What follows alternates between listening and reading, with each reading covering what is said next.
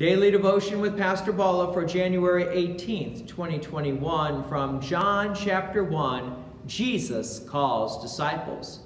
We may remember John the Baptist who didn't want to baptize Jesus, but upon the request of Jesus, John did consent.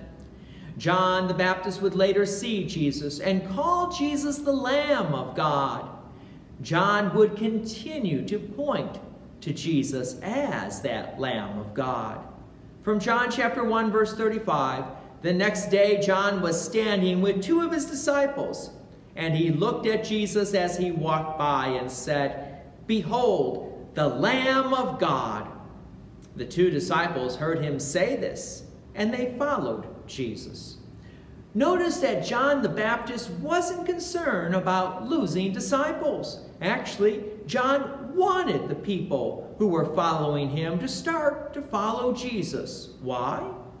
Because John the Baptist would later say this of Jesus, besides being the Lamb of God and the Son of God, John said in John chapter 3 verse 30, Jesus must increase, but I must decrease.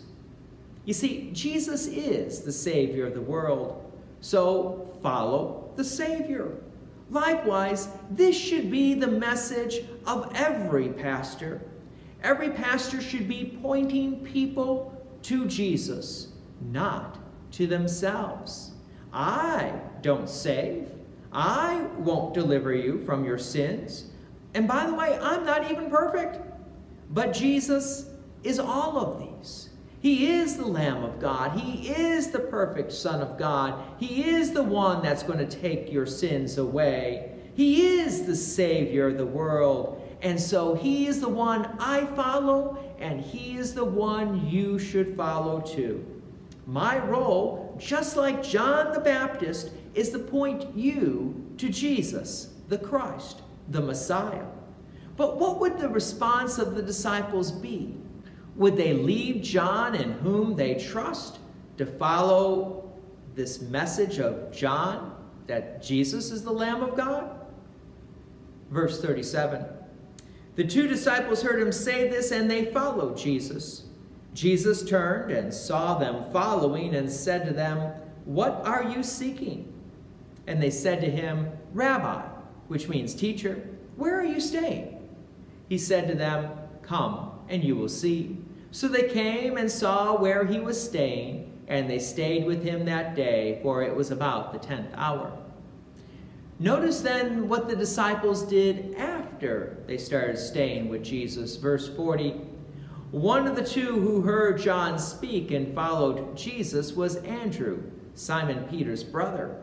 He first found his own brother Simon and said to him, We have found the Messiah, which means Christ because of John the Baptist's message, pointing these disciples to Jesus, the Lamb of God, they now understood that Jesus is the Christ. He is the Messiah. So join me again tomorrow as Jesus teaches about the greatest gift. God's peace and many blessings be with you. Thank you for watching and please take an opportunity to share this message with others. If you have enjoyed these daily devotions, please consider making a donation to Peace Lutheran Church, 24024 West Main Street, Plainfield, Illinois, 60544. Thank you again for watching.